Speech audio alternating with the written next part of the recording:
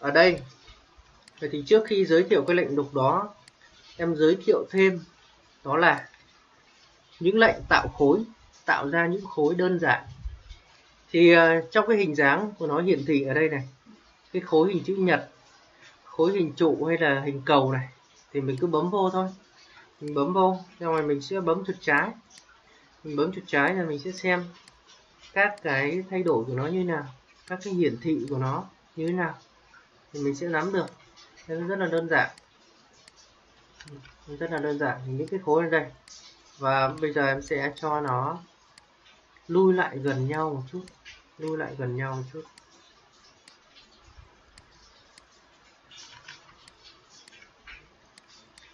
Lui lại gần nhau như này một chút. Đó. như này. Và cái mình cần quan tâm đó là cái lệnh trong cái solid tool này. Nó có 1 2 3 4 tên hiển thị của nó là boolean boolean difference hoặc là boolean union. Thì cái bốn cái lệnh này, mình sẽ hiểu nó như nào. Thì theo cái hình dáng đầu tiên, ở đây mọi người sẽ thấy được rằng là hai cái khối cầu này giống như nó dính lại với nhau vậy á. Giống như nó dính lại. Vậy thì mình cứ bấm thử lệnh đi xong rồi chọn khối này trước. Chọn khối này bấm chuột phải. Thì mình sẽ thấy được rằng là khi sử dụng cái lệnh này, chọn lần lượt hai khối cần dính lại với nhau, sau đó bấm chuột phải thì nó sẽ loại bỏ. Ở đây đây em bật như này cho mọi người nhìn. Đó là nó sẽ loại bỏ cái phần giao nhau đi và nó dính mép khối lại. Nó dính mép khối lại với nhau thì đây gọi là đục để dính khối. Đục nhưng mà lại dính khối lại với nhau, đục bỏ phần giao nhau. Thì là như này, bách trở lại này. Sang phần thứ hai, cái lệnh boolean difference này. Thì mình sẽ thấy được rằng là một khối một khối cầu thì còn còn một khối cầu nó biến mất đi. Và làm mất luôn khoảng cái phần giao nhau nữa. Thì giả dụ, bây giờ em muốn giữ cái khối này lại đi. Em dùng này đục nó đi cơ. Thì sẽ chọn khối này trước, bấm lệnh, chọn khối này sau, bấm chuột phải. Thì mình sẽ hiểu được rằng là cái phần giao nhau, cái khối nào chọn trước thì được giữ lại. Cái khối nào chọn sau thì nó là phần gọi là cây đục hay là phần đục đi. Cái khối chọn trước, nó sẽ làm lại đối với trường hợp bên này chẳng hạn. Giả dụ cái khối này cái khối tròn này là một cái cái đầu chấu đi chẳng hạn. Còn cái phần chữ nhật này là một, một cái phần ngàm lớn. Mình muốn đục cái phần ngàm lớn này đi. À mình muốn đục một phần để mà mình, mình làm một cái ngàm ở trên cái chấu chấu tròn này chẳng hạn. Như này. Thì dĩ nhiên là phải giữ chấu lại rồi đúng không? Giữ chấu lại, hay là giữ đối tượng nào lại thì mình chọn nó trước. Sau đó mình bấm vô cái lệnh đục này. Xong mình chọn tiếp cái khối tiếp theo. Có giao nhau nhá. Có giao nhau. Sau đó mình sẽ bấm chuột phải thì cái khối được giữ nó sẽ còn lại và cái phần giao nhau nó sẽ bị đục đi. Cái phần đục này nó sẽ hầu như là tất cả những cái món đồ mình làm. Nếu có có đá thì chắc chắn là phải đục. Đục ngàm, đục lỗ hột. Nếu mà nhẫn để giảm trọng lượng thì phải đào lòng. Làm đào lòng thì cũng phải đục khối. Trừ khi một cái nhẫn trơn đơn giản, không cần đào lòng, làm nguyên miếng thì mới không sử dụng thôi. Còn đâu là mình sẽ gặp rất nhiều cái trường hợp. Ở đây em back lại để mà giới thiệu tiếp. Hai cái phần lệnh đục còn lại. Thì đối với cái lệnh đục thứ ba này, thì mình thấy được rằng là cái phần giao nhau nó còn lại. Còn nó mất cả phần khối chọn đục và cái khối bị đục đi. Bấm lệnh, chọn khối này trước, bấm chuột phải, chọn khối thứ hai, bấm chuột phải một lần nữa. Thì nó sẽ chỉ còn lại phần giao nhau ở đây em làm lại. Đầu tiên bấm lệnh trước. Chọn khối gây chọn khối đầu tiên. Bấm chuột phải, chọn khối thứ hai, bấm chuột phải. Và đây là cái kết quả. Và trường hợp thứ ba, mình thấy được rằng là cái khối đục này, nó vẫn còn. Và nó bị tách rời ra khỏi cái phần giao nhau luôn. Thì sử dụng lệnh là mình bấm lệnh. Chọn đối tượng đầu tiên, bấm chuột phải. Chọn đối tượng thứ hai, bấm chuột phải một lần nữa. Và đây em đẩy nó ra. Em đẩy nó ra như này. Tức là cái khối nào chọn đầu tiên thì nó sẽ đục đi và nó sẽ giữ lại cái phần giao nhau. Cả cái khối đem đục vẫn còn. Thế thì mình sẽ hiểu sơ như vậy. Và cái quan trọng mình cần nắm đó là cái lệnh đục thứ hai này, tên là Boolean difference đây, em xóa này đi nha. Tiếp đến, một phần kiến thức nữa, đó là lấy cây đục ở đâu? Rhino thì không có, Magic mới có. Cái phần cây đục này, nó nằm ở phần cutter này, cutter. Và tên của nó là game cutter, hình dáng đây tên ở đây. Khi mà mọi người muốn di chuyển cái bảng magic này, giữ chuột phải vào ô màu trắng nhé giữ chuột phải vào ô màu trắng, kéo lên hoặc kéo xuống để di chuyển nó. Còn nếu giữ chuột trái, kéo, thì nó sẽ là kéo hẳn cái ô này ra ngoài. Khi giữ chuột trái, kéo lại, nhả vào trong này, thì nó tự động chạy lại vị trí tiếp theo ấn chuột trái để đóng hoặc mở. Quay trở lại với cái viên đá này. Em sẽ nhập kích thước vào đây. À không phải là nhập kích thước, mà là nhập cái viên đá này vào cái lệnh cây đục này.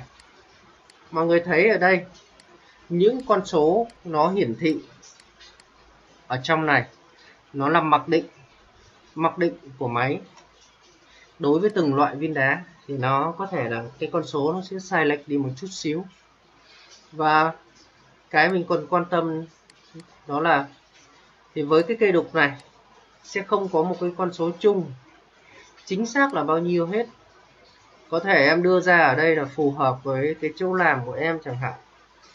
Nhưng mà qua cái chỗ làm khác với những cái công đoạn khác hoặc là cái cách họ làm đồ đúc khác nhau thì nó cũng ảnh hưởng trong trường hợp này thì em cứ đưa cho một con số để mọi người nhớ. Ở đây. Mọi người nhớ ở đây. Mình cứ dùng tạm mà mình xài thôi. Ví dụ như là em sẽ nhập số là ngược từ dưới lên trên. Ví dụ ở đây là 10 phần trăm. Cái này cái này gọi là độ mở ngàm này. mở ngàm, mở rộng. Mở rộng phần ngàm này ra. Em gọi nó là phần mở ngàm là 10 phần trăm. Cái phần này, cho là 5 phần trăm. Đây là gì? Mọi người thấy cái cây đục nó đi lên. Cái cây đục nó đi lên. Nhưng mà ở đây em để bằng không. Thì khi nào mà có chấu, em sẽ nói rõ thêm về cái phần này. Cái này đã cứ để bằng không nha. Cái phần này, cái này em để 105 cái này nó đi ra. Cái này gọi là độ ăn ngàm. Độ ăn ngàm độ mở ngàm còn cái chân cây đục này, cái chân cây đục trong cái trường hợp nó một cái miếng lớn như này, thì mọi người để chân cây đục là khoảng 80 và cái mình cần quan tâm đó là bốn cái con số này thôi.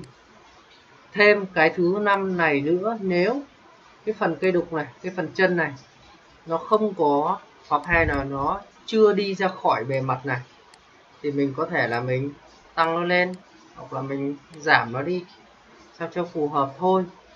Còn cái này, cái thông số cuối này, tức là độ nhỏ ở cái đầu này, độ nhỏ ở cái đầu này. Thông thường thì mình sẽ không nên điều chỉnh nó đi, để cho để cho nó theo cái kết quả của thằng 80 này. Thằng 80 cái con số thứ tư mình chỉnh này, là từ trên xuống dưới này là như nhau hết đó, và khi mà chỉnh xong rồi, bấm chuột phải, thì nó sẽ tạo ra được cái cây độc này. Và dùng cái phím, bàn phím để đưa nó về, đưa nó về đây. Bây giờ mình sẽ áp dụng cái lệnh đục, cái lệnh đục phối. Đó là cái mình cần giữ lại ở đây, đó là giữ lại cái đai nhẫn này. Và lấy cái cây đục này, đục đi thôi. Vậy thì chọn đai nhẫn trước bấm vô lệnh cây đục. Bấm vô cái cây đục này, bấm chuột phải, thì nó sẽ đục lỗ ở đây đi. Nó sẽ đục lỗ ở đây đi. Ở đây mình sẽ đẩy viên đá ra nhé. Đẩy viên đá ra. Mọi người sẽ nhìn thấy một cái khoảng trống như này. Một cái khoảng trừ hao cho cái viên đá như này. Đó. Và khi mà đục đi rồi, thì cái phần trên này nó sẽ bị vát nó sẽ bị vác như này. Và cái cái độ lớn của nó đang nhỏ hơn viên đá thì mình không có đưa vào được. Mình không có cho viên đá vào được. Ở đây, em sẽ sử dụng cái lệnh ít chút cơ. Lấy trực tiếp cái cơ này đi. Bấm chuột phải này. Và mình sẽ kéo cho nó lên trên một chút như này. Đây, nó sẽ vừa lên trên và vừa xuống dưới đến cái khoảng này nhé. Ở đây em đổi màu đi này và mình thấy rằng là nó phẳng này. Thì mình sẽ dùng cái lệnh kép đóng nắp, tạo khối kín luôn. Nó sẽ ra như này. Và khi mình tạo khối như này để làm gì? Tức là em sẽ đục bỏ cái phần trên này đi, sao cho nó bằng viên đá này. Bằng viên đá thôi nha. Ở đây, trong trường hợp này, mình sẽ sử dụng cái, những cái ô vuông ở đây. Là giữ ship nắm chuột trái và mình kéo ra, áng chừng sao cho nó bằng viên đá này. Rồi, và mình nâng cái này lên một chút xíu, vì mình biết được rằng là cái khoảng giữa này, đây, cái khoảng giữa này thì là rộng nhất, còn cái khoảng phát này thì nó đang thu hẹp lại. Nếu cái này để sâu quá thì có thể nó sẽ bị đục hỏng cái phần phần ngàm ở phía trong này của viên đá đi mình sẽ nâng nó lên một chút như này. Sau đó sẽ chọn cái tai nhấn bấm lệnh đục và bấm vô cái khối này bấm enter. Đấy, kết kết quả nó hiện ra là như này. Đã có trừ hao một chút xíu để cái ngàm viên đá. Khi mà họ nhập viên đá vô thì nó, nó có cái thổi trừ hao ở trong này nó sẽ nằm ở tại vị trí này. Nó không có tuột ra và cũng không quá chặt để mà vỡ cái viên đá. Đây là cái kết quả cuối. Thì mình làm ra như này. Đây, em sẽ lưu bài lại. Mọi người ơi, đến đây thì à, có ai có hỏi gì không ạ?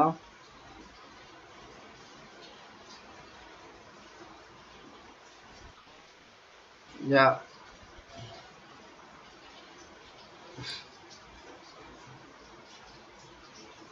Ok.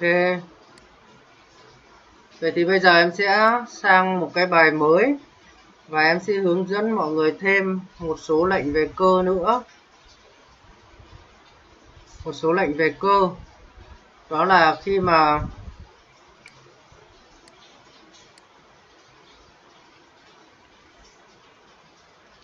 khi mà mình có những cái đường cơ hoặc là mình có những cái hình dáng mà mình muốn đưa nó lên surface chẳng hạn. Để giữ nguyên cái cái hình dáng, cái sợi cơ mình đã chỉnh ở trên mặt top thì nó, thì mình cần dùng dùng những cái lệnh gì để mà mình đưa nó lên? Và khi mà đưa nó lên rồi thì nó có bị biến dạng hay là bị ảnh hưởng gì không? Thì à, ở đây em sẽ lấy một cái hình cụ thể vô. Sẽ lấy một cái hình cụ thể để đưa vào.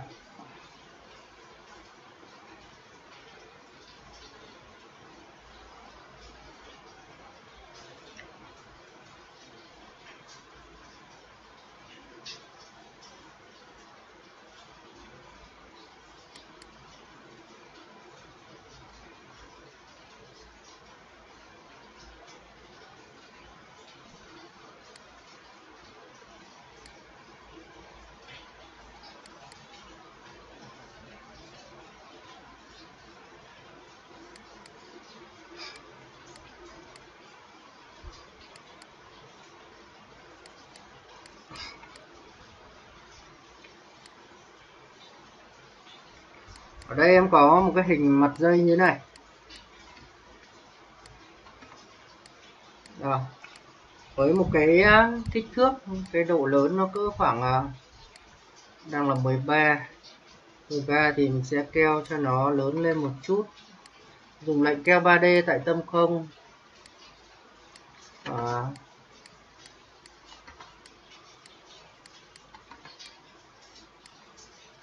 đây, em sẽ kéo nó lên khoảng 19 19 11 như này. Và em sẽ dùng một cái lệnh vẽ đường thẳng.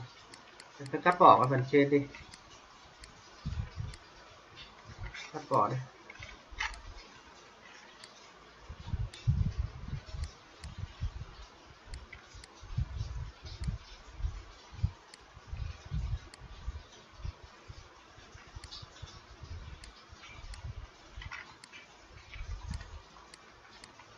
Cái nhẫn nam mà lúc chiều em gửi cho mọi người thì à, mình sẽ học nốt cái phần, những cái phần lệnh ở đây á.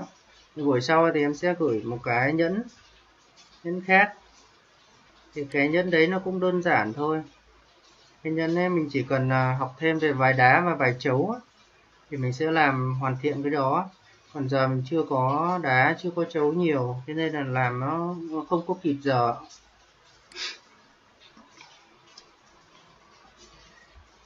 Ở đây. Vậy thì uh,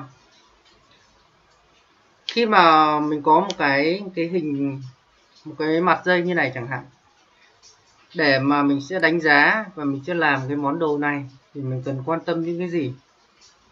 Thì dĩ nhiên đó là vẫn cứ là những cái đường nét chính của nó. Vậy thì những cái đường nét chính này mình nhìn thấy ở đây. Nhìn thấy ở trên cái món đồ này. Đó là những cái đường bao quanh ngoài này những cái đường bao ngoài này. Thì dĩ nhiên khi mà làm theo đối với cái hình dáng này là mình sẽ phải sử dụng cái lệnh. Mình sử dụng cái lệnh gọi là cái lệnh vẽ đường cơ và mình sẽ ướm theo những cái đường nét này. Ướm theo những cái đường nét này. Bây giờ em sẽ sẽ làm nhanh một chút. Tức là ở đây mình sẽ dùng cái lệnh vẽ cơ này trước tiên là mình cứ khóa cái hình này lại, thì sao lại khóa lại? Vì khi mà mình chỉnh điểm, khóa khóa hình nhé là mình sẽ chọn cái hình này mà mình bấm cái khóa ở trên, tức là bấm chuột trái. Còn khi mà mình không có muốn khóa nó nữa, mình muốn chọn nó trở lại bình thường á, thì mọi người sẽ bấm chuột phải vô. Bấm chuột phải cho, ở đây em sẽ khóa nó và sử dụng cái lệnh vẽ cơ này. Cái lệnh vẽ cơ này mình sẽ ướm theo những cái đường nét ở ngoài với cái số điểm cũng hợp lý thôi. Mình sẽ ướm vào những cái đoạn cong khoảng bao nhiêu đó thì mình sẽ chọn một điểm. Mình sẽ chọn một điểm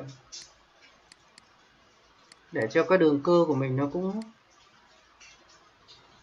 nó sẽ theo hình dáng và chuẩn xác một chút.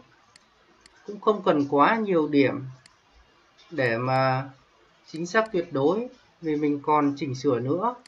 Thế nên là mình cứ vẽ những cái đường nét tương đối ở đây.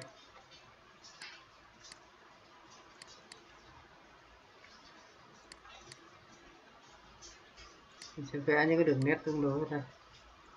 Như này.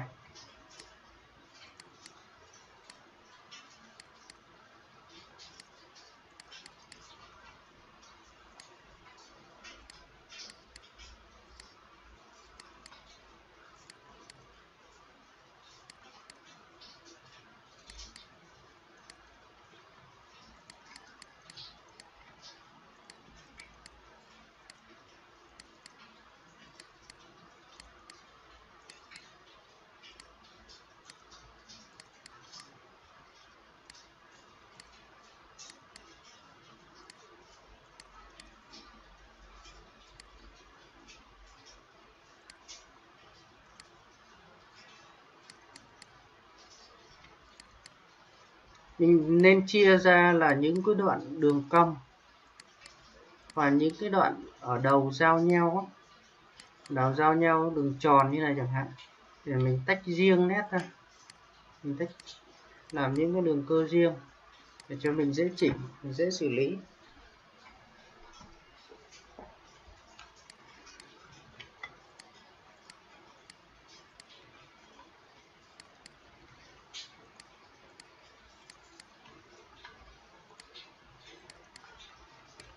đây ví dụ ở đây. Em lấy những cái đường nét của nó ra ngoài như này. Vậy thì đối với cái hình này, các bước hay là cái cách mà mình sắp xếp công việc để mình làm á, nó bao gồm là đầu tiên là mình phải xác định cái kích thước nó khoảng bao nhiêu đã. Mình ờ, không biết được chính xác nó là bao nhiêu hết. Khi sử dụng cái lệnh picture frame đưa hình vào, mình cứ vẽ hình ra đi và sau đó sử dụng những cái đường cơ để cắt đi giữ lại cái phần mà mình mình cần làm. Bắt đầu, bắt đầu mình sẽ dùng cái lệnh dim để mình đo. Cái kích thước ở đây nó thể hiện ở đây là nó đã đúng yêu cầu chưa? Hay là nó nhỏ hay nó lớn thì bắt đầu mình sẽ điều chỉnh. Khi mà mình điều chỉnh vào kích thước nó hợp lý rồi thì bắt đầu mình sẽ sử dụng cái lệnh vẽ cơ để mình lấy những cái đường nét chính ra. Lấy những cái đường nét chính ra. Ở đây em sẽ đẩy vào. Và cái phần này, có thể là em sẽ lấy thêm những cái đường cong hoặc là mình sẽ chỉnh nó đi một chút cho nó mềm mại lại. Lấy thêm à, cái đường nét ở đây cho nó cho nó đầy đủ này những cái đường cong này mình cứ áng chừng ở đây thôi. Mình cứ áng chừng ở đây. Một lát thì mình sẽ có lệnh vẽ những cái đường cong thay thế tại vị trí này. Cái kết quả nó ra nó sẽ đẹp hơn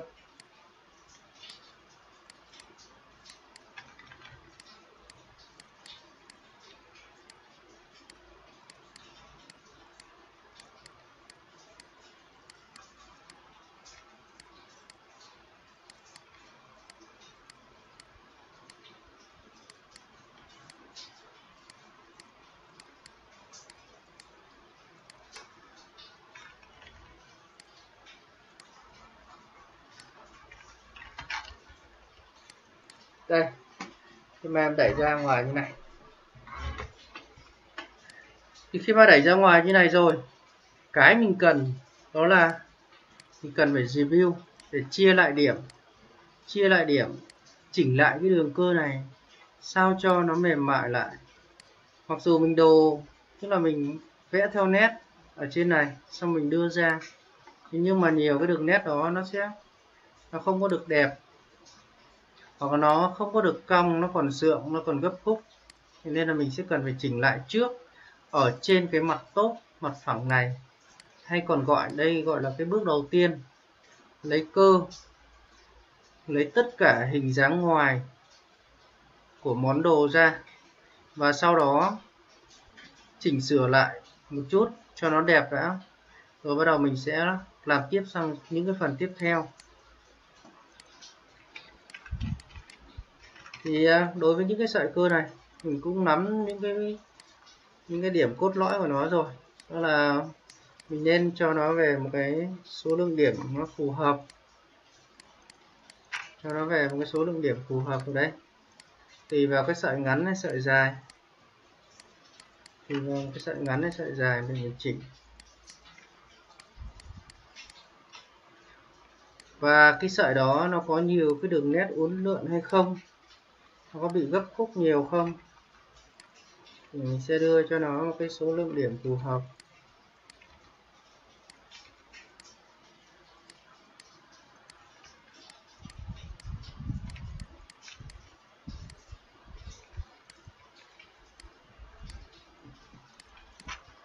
Bây giờ em sẽ xóa cái sợi này đi. Đầu tiên em sẽ giới thiệu thêm một cái lệnh về cơ, đó là khi mà mình có hai cái đoạn này hai cái đoạn cơ này, nó tương đối cái vị trí với nhau. Tức là nó tương đối bằng nhau. Thì mình sẽ sử dụng cái lệnh gọi là lệnh plan cơ.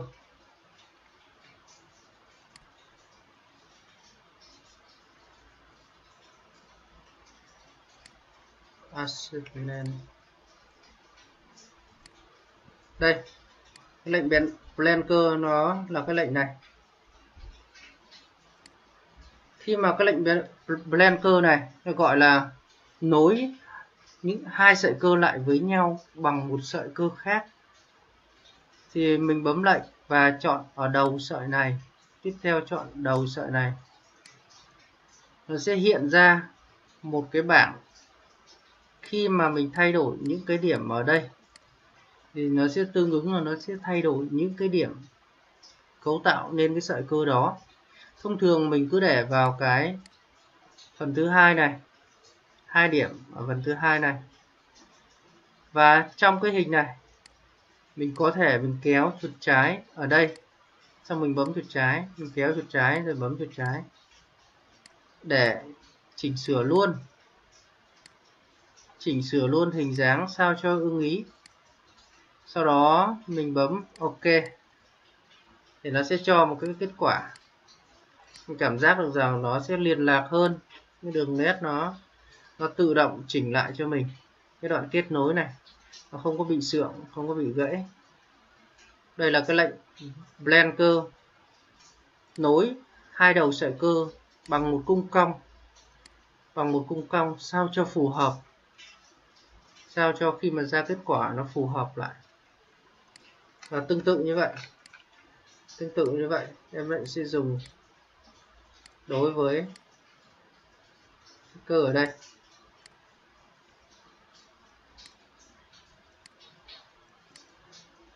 Bấm ok. Có thể mình cứ chỉnh cho nó dư ra một chút. Có thể cho nó dài hơn cái hình mẫu một chút. Lát mình sẽ chỉnh lại sau. Cái vấn đề là ở đây là mình coi nó nó đẹp không đã. Nó cho cái kết quả ở đây nó có đẹp chưa đã. Rồi lát mình sẽ chỉnh lại về nếu cái độ lớn nó có lớn hơn một chút hay nó có nhỏ hơn một chút thì mình sẽ chỉnh lại sau.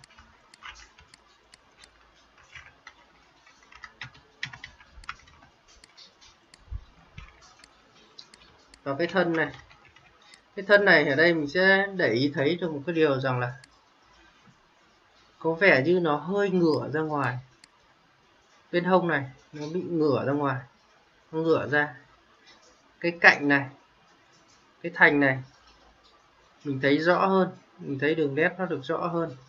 Và cái đường cong này.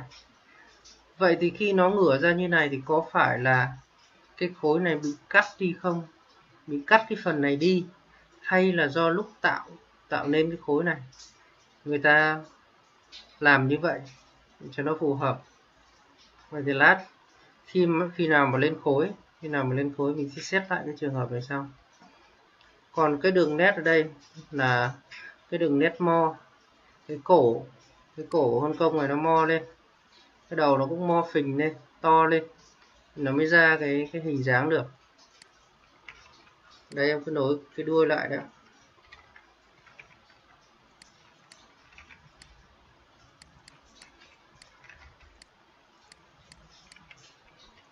Em sử dụng lệnh cắt cắt bớt đi. Cắt bớt cái đoạn nó hơi dài đi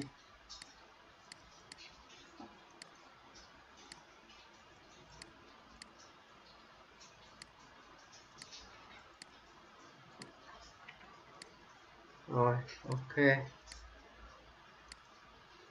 Phần này. Phần này thì mình sẽ bật điểm lên. Và mình sẽ chỉnh nó mua vào. Mình sẽ dùng cái lệnh chỉnh điểm ban đầu để mà chỉnh cho nó có cái hình dáng cho nó đẹp nhất.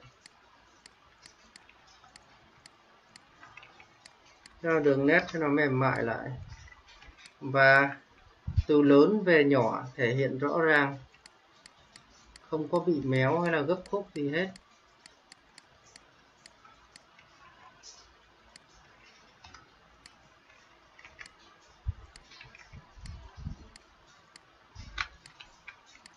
Ok. Còn phần cái đầu này, em sẽ đẩy vào đây. Sẽ đẩy vào đây. Xin chỉnh lại cái phần này một chút.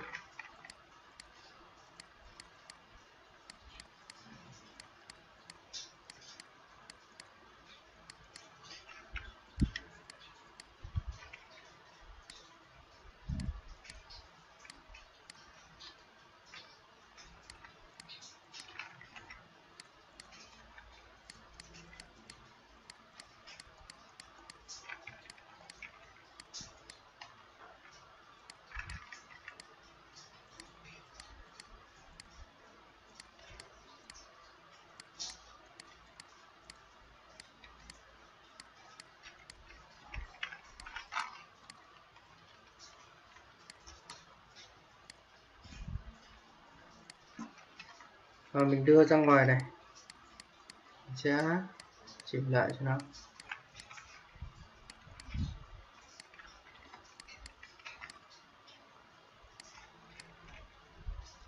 Vậy thì cái lệnh blend cơ đó, nó có nối được từ cái đầu này qua cái đầu này không? Trong cái trường hợp nó cong như này, mà mình cảm thấy là cái phần đầu này, cái đường cơ này mình vẽ chưa đẹp mình vẽ chưa đẹp, còn cần chỉnh lại. Còn cần chỉnh lại. Để em review thêm này một chút.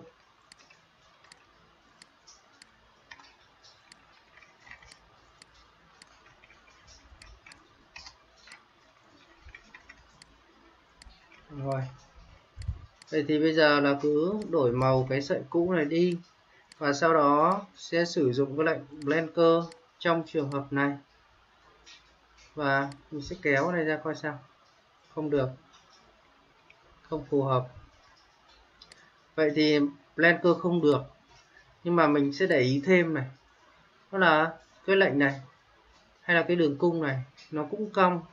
Có thể là nó cong không đều thôi. Thì mình thử vẽ cái lệnh vẽ cung cong đều này, thử xem sao. Bấm vô lệnh vẽ cung cong, chọn start point này. Chọn điểm N ở đây điểm N ở đây. Và mình kéo này ra. Mình kéo nó ra như này. Mình bấm chuột trái à. Xong rồi mình sẽ đẩy cái sợi cơ vàng này ra đã. Mình coi lại ở đây. Có vẻ như nó hơi bầu một chút. Nó hơi bầu cái cái đầu này một chút. Nhưng mà nếu mà mình sẽ bật điểm lên, mình sẽ review cái này đi. Sẽ review cái này đi 4 điểm thôi. Ok và chỉnh lại cái này một chút. Chỉnh lại một cái này một chút.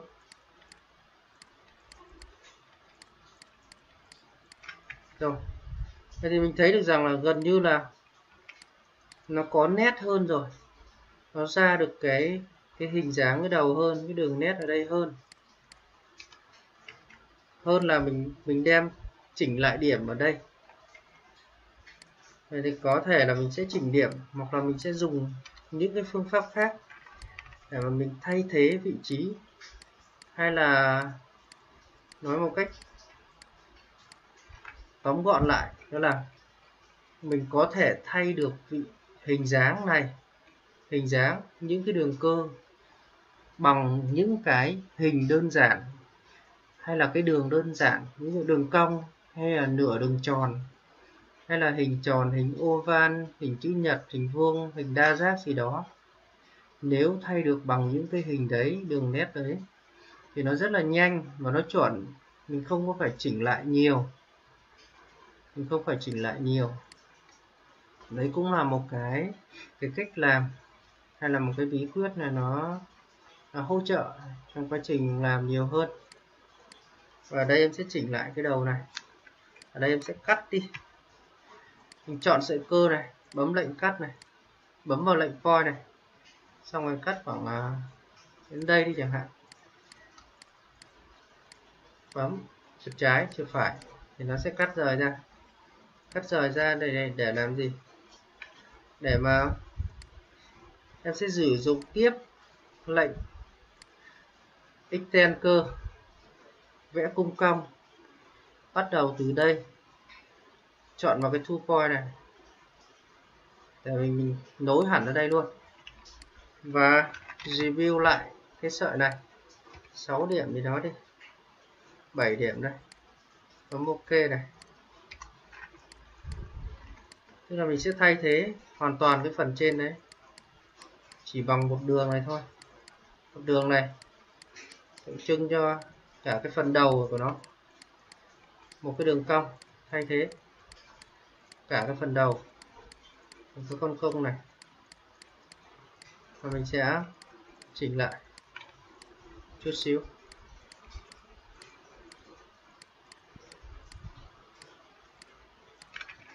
Đó.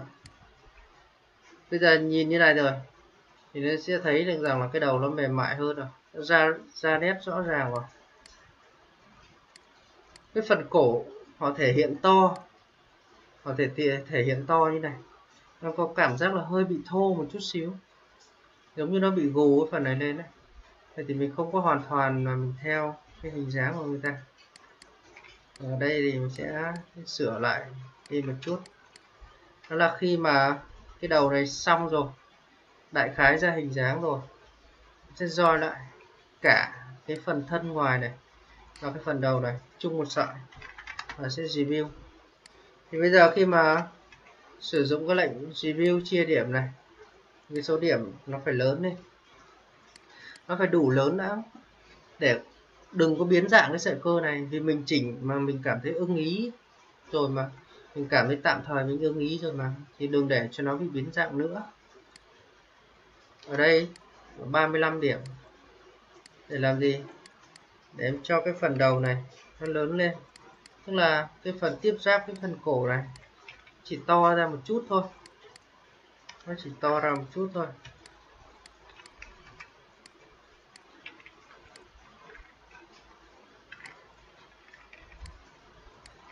Như này. Đó, ok. Và những cái sợi cơ tương ứng với cái màu này mình cũng review chia lại cái số điểm 5 điểm gì đó chẳng hạn. Bật điểm lên và đưa nó ra. Hoặc là cho nó giao nhau lại. Cho nó giao nhau lại. Để mà mình cắt, mình chim đi cho nó ra hình dáng.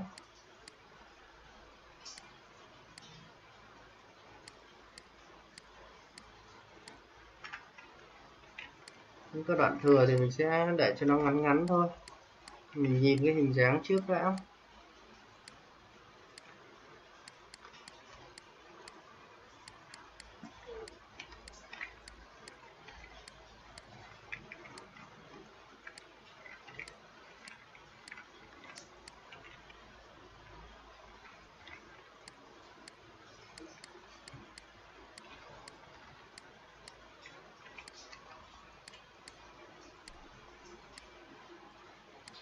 Một phần nữa là yếu tố là có đẹp hay không ấy.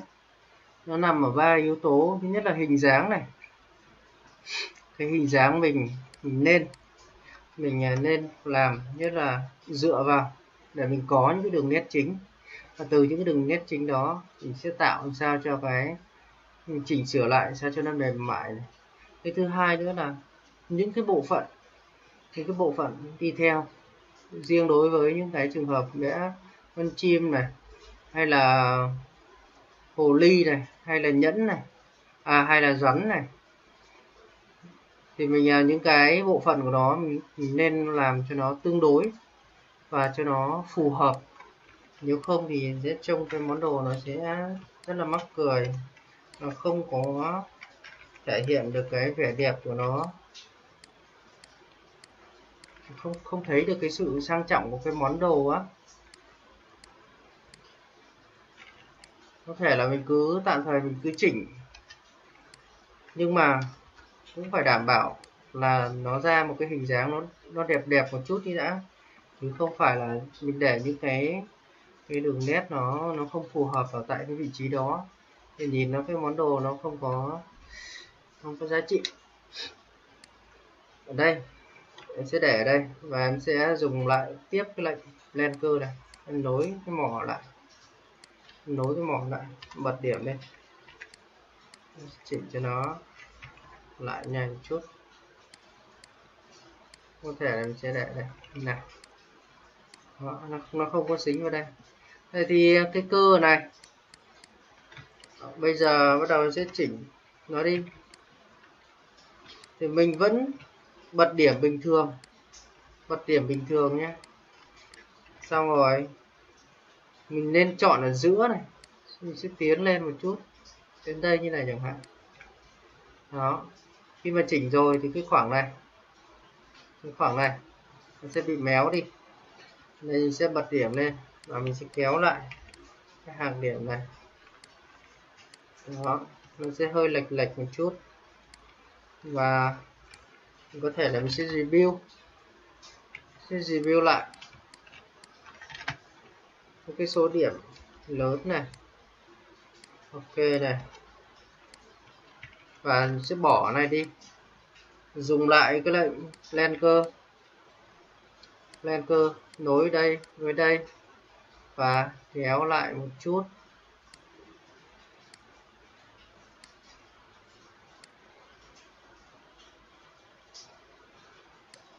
Bấm ok. Là xong. Về cơ bản hình dáng mình đã xong rồi. Nhưng mà bây giờ liệu cái con uh, chim công này cái hình dáng nó chỉ phẳng như này không?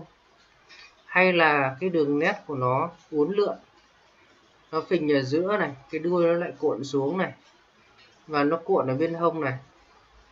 Vậy thì những cái đường nét này những cái đường nét cái đuôi này cái mình này đầu tiên là mình phải đưa nó lên cùng một cái mặt phẳng. Một cái mặt phẳng nào mà nó có cái độ cong hoặc nó có một cái độ phình trước đi đã. Để mình dễ nhìn ra một cái cái hình tổng quát của nó chẳng hạn. Từ sau đó, từ cái hình tổng quát à, đầy đặn đó, mình bắt đầu mình mới chia đường ra. Đường lượn lên hay là đường lượn xuống, hay là đường ngửa ra, thì nó sẽ thay đổi như thế nào? Thì ở đây bây giờ có thể là em sẽ lấy một cái viên đá đá, đá giọt. Em sẽ chọn mua cái viên đá này. Sau đó em sẽ bấm lại một cái game xếp này. Sẽ bấm vào cái viên đá giọt này. Thì cái kích thước ở đây mình chưa có đo. Thì cứ lấy một cái viên uh, viên 42 đi. 42 rưỡi đi. Một cái viên 42 rưỡi sau đó mình sẽ kéo vào cái vị trí tương ứng của nó như này. Nó hơi lớn. Sẽ giảm xuống. Ba hai rưỡi này. Hay là cái viên hai rưỡi này. Vậy thì khi mà cái kích thước của nó không phù hợp, hoặc là nó nhỏ hơn một chút, hoặc là nó lớn hơn một chút. Trong cái trường hợp này giả dụ cái viên đá này là cái viên đá thông dụng, mình nhập được ở chợ, không phải mài, không phải đặt, rất là dễ sản xuất đối với cái số lượng lớn.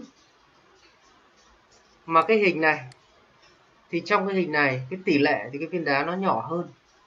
Thì mình sẽ ưu tiên là, bây giờ cái cơ này, ở đây em sẽ giới thiệu một cái lệnh, đó là lệnh group nhóm này.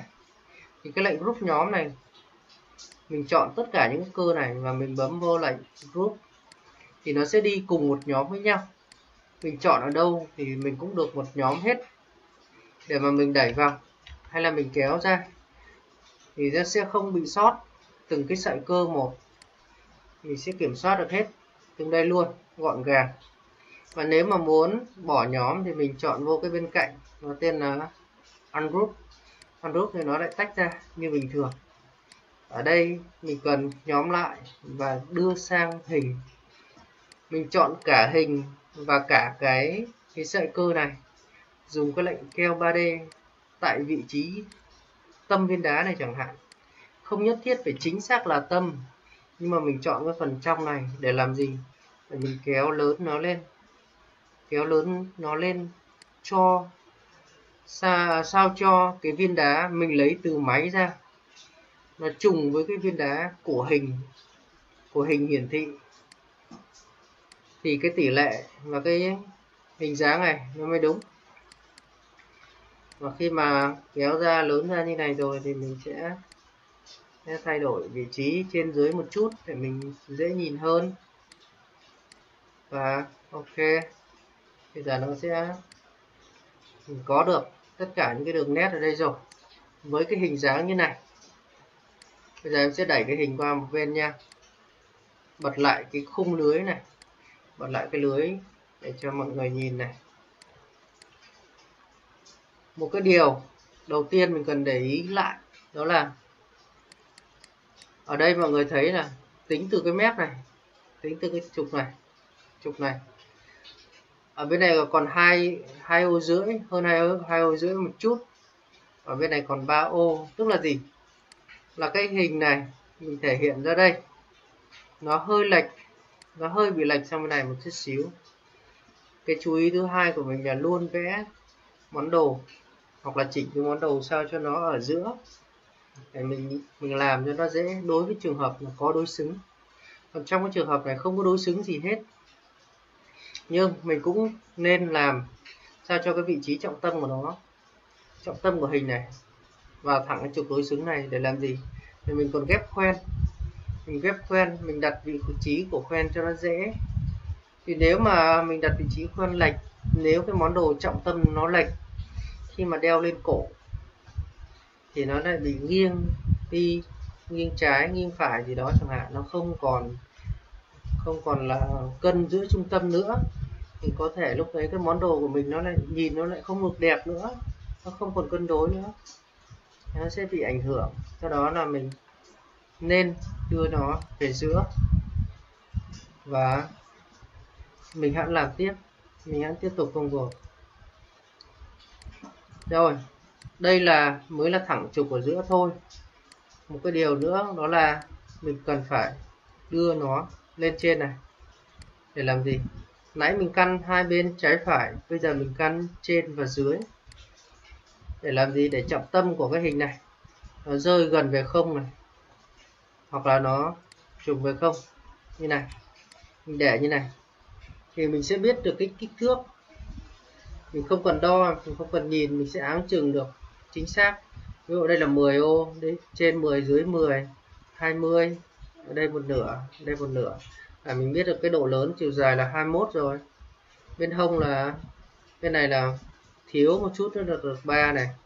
Bên này cũng thiếu một chút xíu nó được 3 tức là đồ lớn đồ lớn chiều ngang này là 20 ôm trừ đi 6 ôm này là còn 14 ngang 14 dài 21 hơn một chút.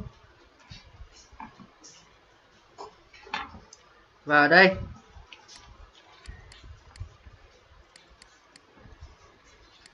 Chúng thấy được rằng là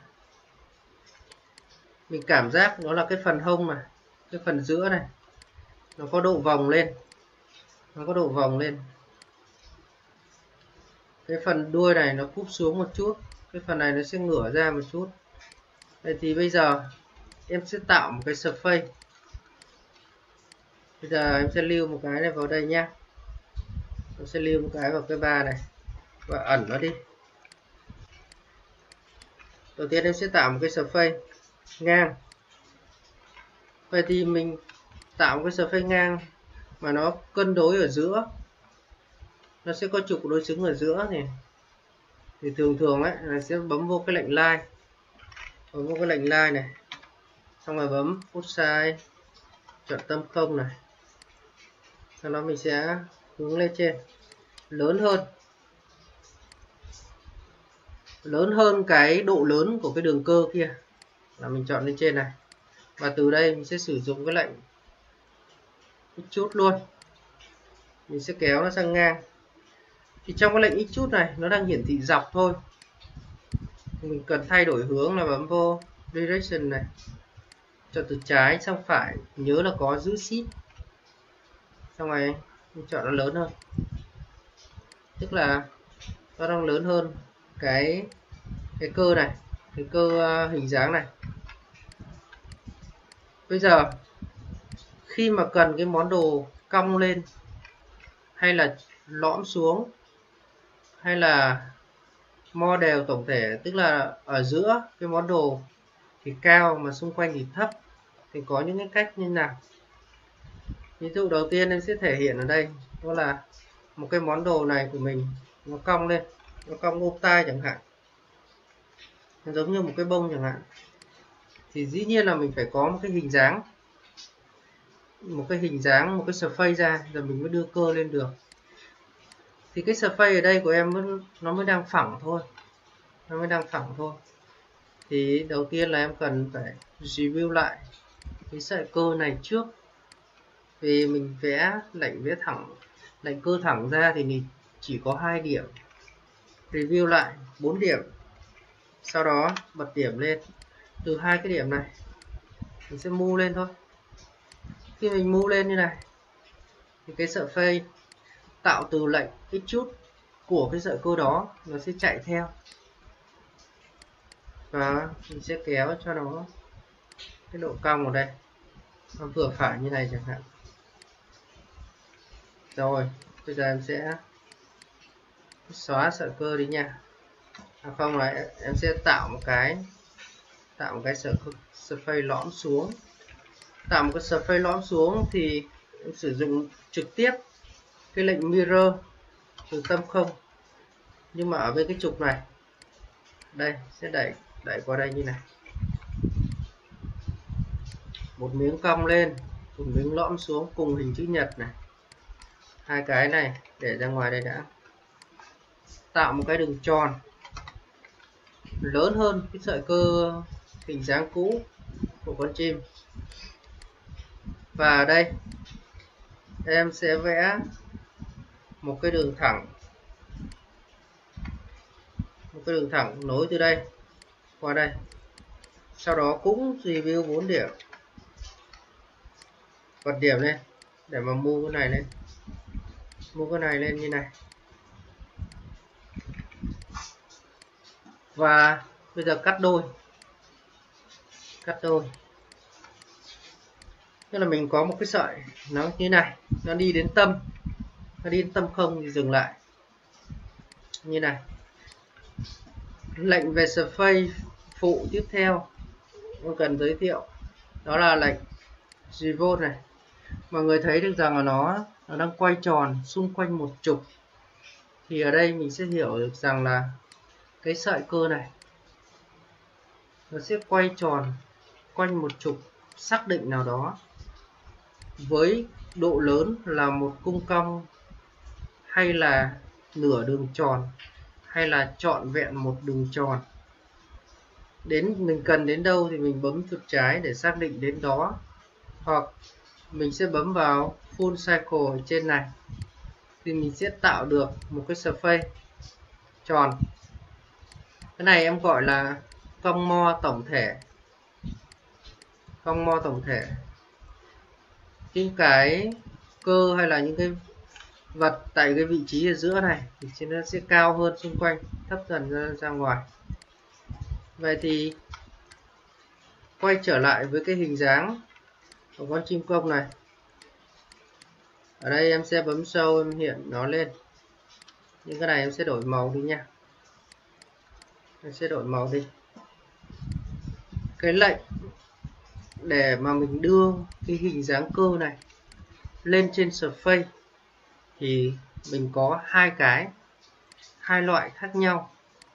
Mình sẽ thấy ở đây một cái tên là project và một cái tên là pool vậy thì hai cái này đầu tiên mình sẽ thấy được rằng là cái hình hiển thị của nó cũng khác nhau đó này.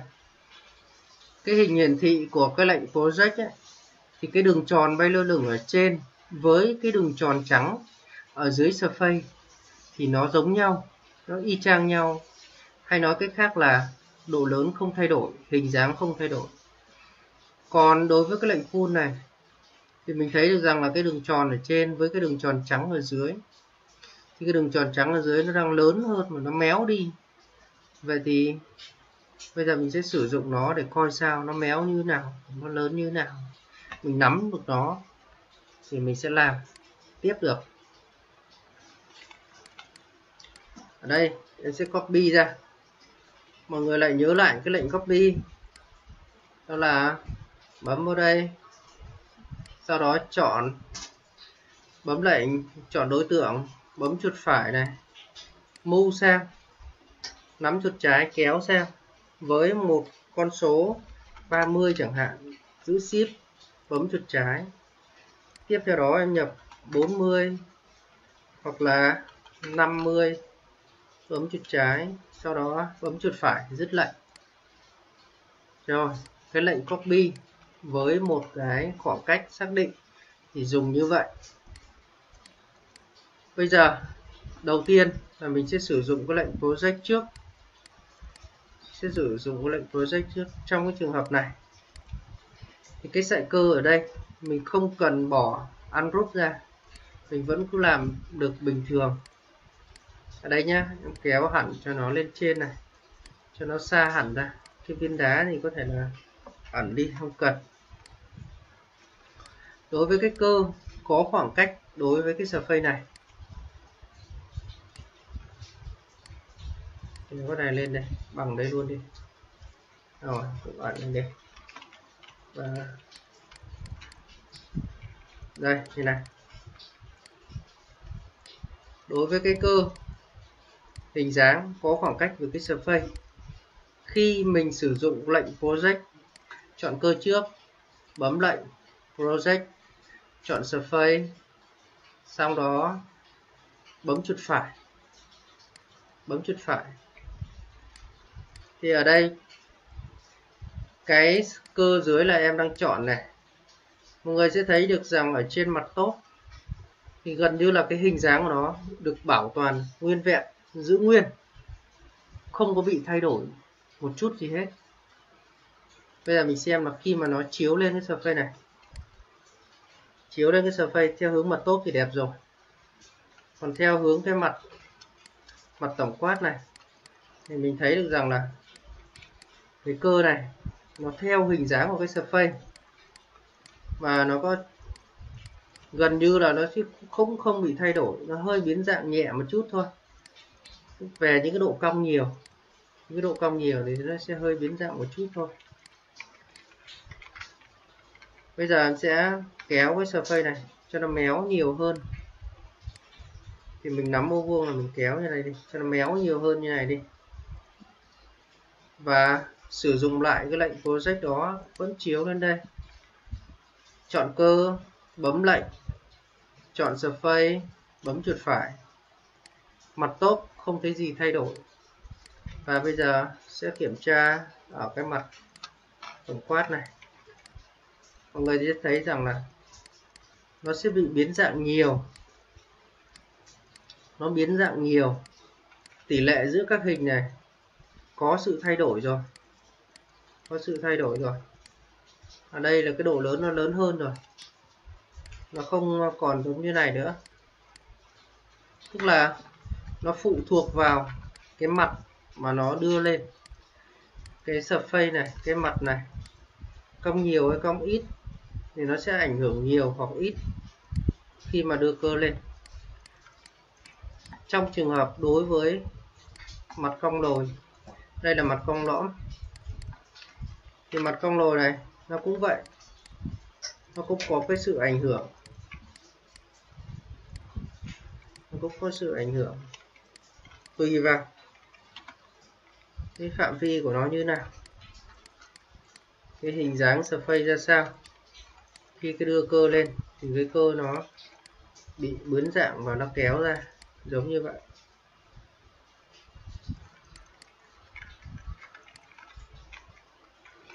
Trong trường hợp đối với mặt cong này thì sao? Đối với trường hợp mặt cong này.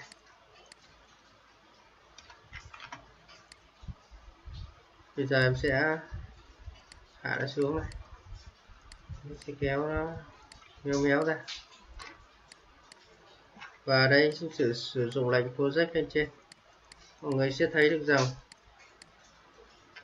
tùy từng hình dáng.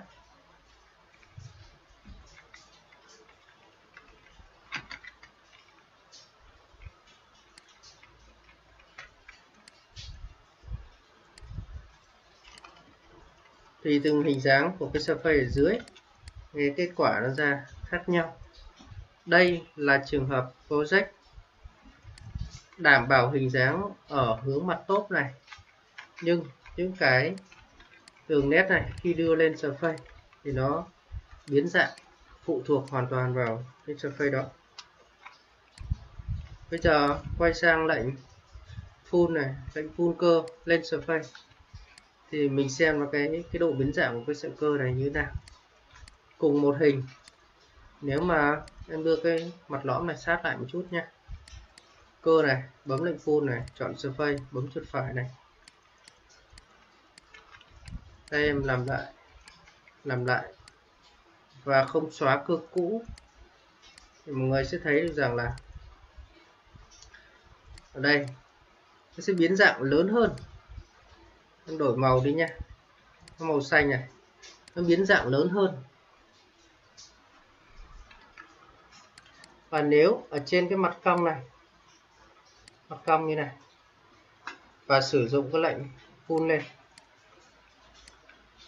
Đây, để em đổi màu đi. Xanh này. Thì mọi người sẽ thấy được rằng là nó biến dạng nhỏ hơn một cái lớn hơn, một cái nhỏ hơn. Một cái là mặt cong lõm, thì giống như là nó là một cái thấu kính. Đối với mặt cong lõm này thì nó phóng lớn lên. Còn đối với mặt cong đồi này thì nó là thu nhỏ kích thước lại. Và đối với cái mặt cong mo tổng thể này, nếu cái hình này để ở trên và pull xuống dưới thì nó nhỏ hơn. Nó nhỏ hơn. Còn nếu trong cái trường hợp mà nó ở dưới,